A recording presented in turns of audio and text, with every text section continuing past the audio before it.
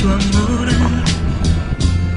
como el que yo te tuve alguna vez. Tanto amor que no puedo explicar porque ya no estás aquí.